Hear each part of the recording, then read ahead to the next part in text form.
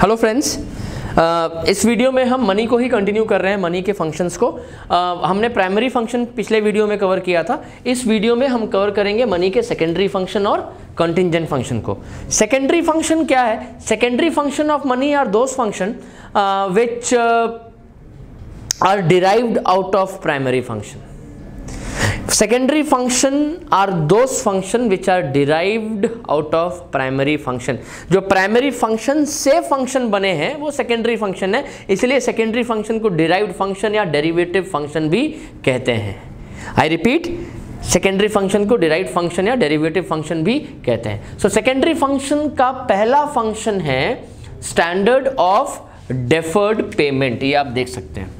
Standard of deferred payment जो हमने पहले वीडियो मनी के पहले वीडियो में भी समझा था कि मनी के आने से एक प्रॉब्लम जो सॉल्व हुई है, वो ये कि हम प्रोडक्ट को खरीदते हैं और उसके पैसे हम धीरे धीरे पे करते हैं। बैंक से हम लोन लेते हैं और उसके पैसे हम धीरे धीरे पे करते हैं। Right deferred means late payment means pay करना।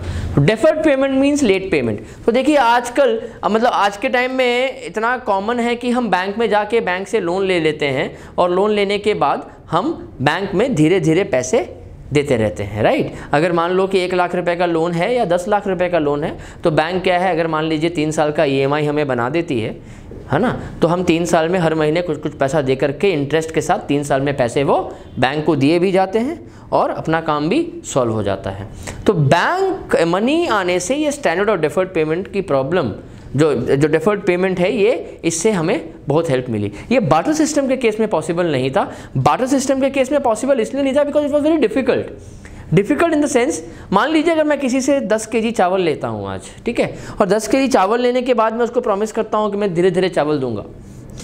तो मैं एक के चावल दिया पहले महीने, दूसरे महीने एक के चावल दिया तो उसके बाद एक कॉन्फ्लिक्ट हो सकता है कि दूसरा बंदा ये कह सकता है कि मैंने जिस क्वालिटी के चावल आपको दिए थे, आप उस क्वालिटी के राइस मुझे वापस नहीं कर रहे हो। यहाँ एक कॉन्फ्लिक्ट है तो यहाँ प्रॉब्लम बनती है।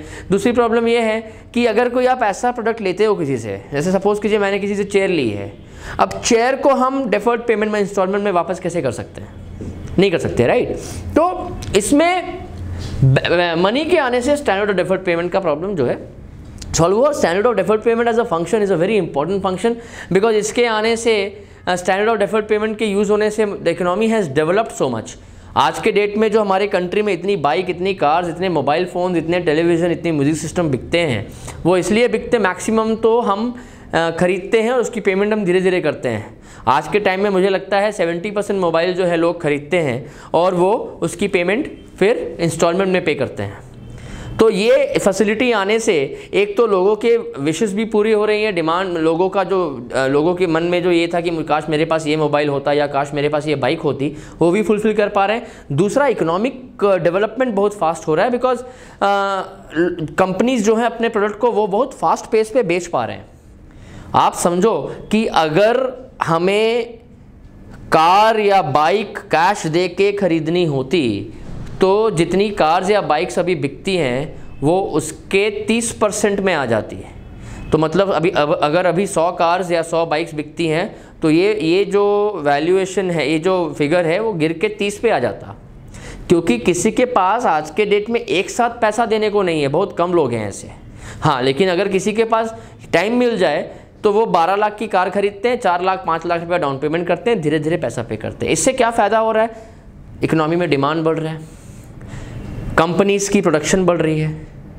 प्रोडक्शन बढ़ने से अपने जीडीपी की ग्रोथ होती है। डिमांड बढ़ने से कंपनी कंट्री ग्रो करती है। So you know the country actually is growing because of this function आप खुद ही हिसाब लगा लो कि अगर ये हट जाए तो क्या होगा? मुझे आज घर खरीदना खरीदना है तो मैं आराम से बैंक से लोन लेता हूँ।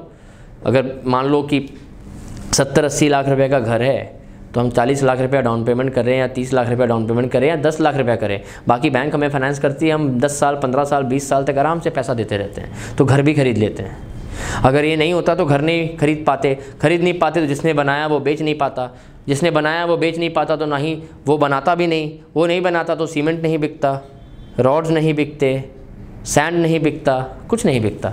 तो देखो ये आ, सारा लिंक्ड है और ये बहुत ही इंपॉर्टेंट फ़ंक्शन है right store of value no money can be stored money can be stored in any form money can be stored in form of fix deposit money can be stored in savings account money can be stored in current account money can be stored in the form of shares money can be stored in the form of gold तो money से आप कुछ भी खरीद लो या money को कैसे भी स्टोर कर लो पॉसिबल है।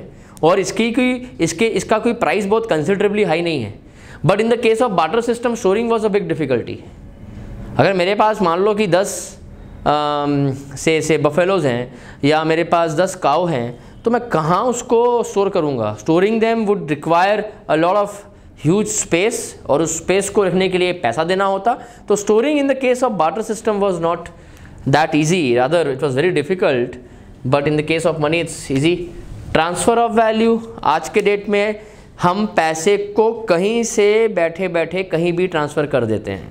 आज अगर मेरे पास यहाँ पैसे हैं तो मैं अगर चाहूँ मैं ये पैसे कहीं भी दे दूँ, अगर मैं कुछ अमेज़ोन से या फ्लिपकार्ट से मंगाता हूँ तो मैं पेमेंट ऑनलाइन करता हूँ। अगर COD अवेलेबल नहीं है, किसी किसी प्रोडक्ट में COD अवेलेबल नहीं होता है तो हम पेमेंट ऑनलाइन करते हैं। ऑनलाइन पेमेंट करने से प्रोडक्ट अपने पास हमारे आता तो बेसिकली जो पैसे मेरे पास थे, मैंने उसकी वैल्यू किसी और को ट्रांसफ़र की और उनसे मैंने प्रोडक्ट को ख़रीद लिया।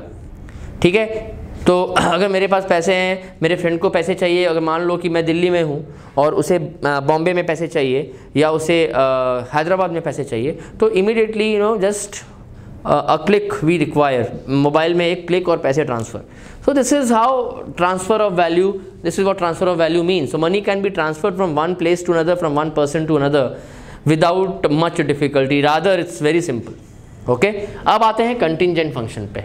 Contingent function are those function which helps the various economic entities like producers and consumers right तो कंटिजेंट फ़ंक्शन जो है these are those function which help various economic entities like producers and consumers तो देखो आप contingent uh, function में आता है measurement of national income देखिए measurement of national income national income हम मनी के फॉर्म में मेजर करते हैं राइट तो इंडिया की नेशनल इनकम मान लो कि पचास हज़ार करोड़ रुपए हैं तो ये भी मनी के फॉर्म में एक्सप्रेस हुआ। अगर मनी नहीं होता बार्टर सिस्टम में national income calculation would have become next to impossible right what is basically national income क्या है? वो जीडीपी से कैलकुलेट करते हैं।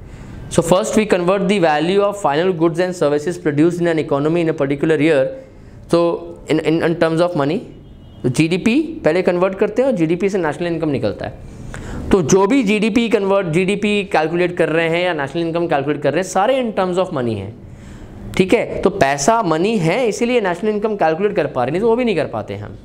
Okay maximization of satisfaction you see हमने कॉस्ट में और रेवेन्यू में पढ़ा था।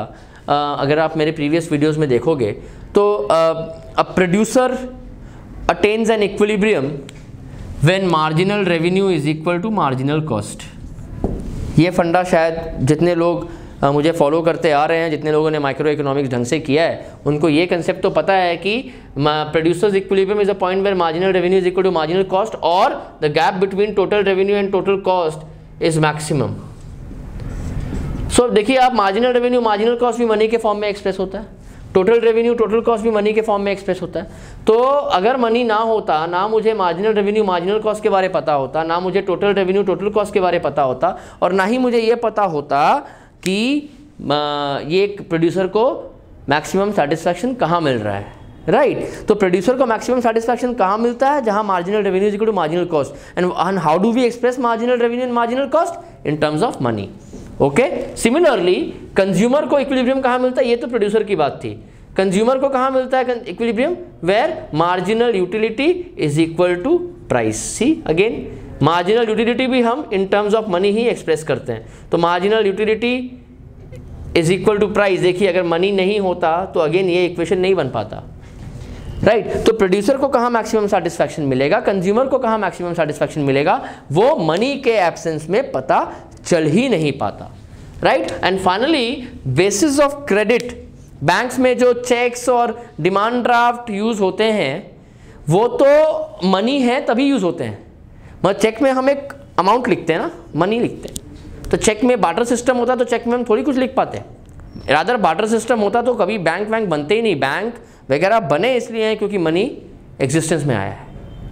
ठीक है? So these primary secondary and contingent function ये uh, अब कंप्लीट हुआ फ़ंक्शंस अब नेक्स्ट वीडियो में हम मनी सप्लाई को पढ़ेंगे.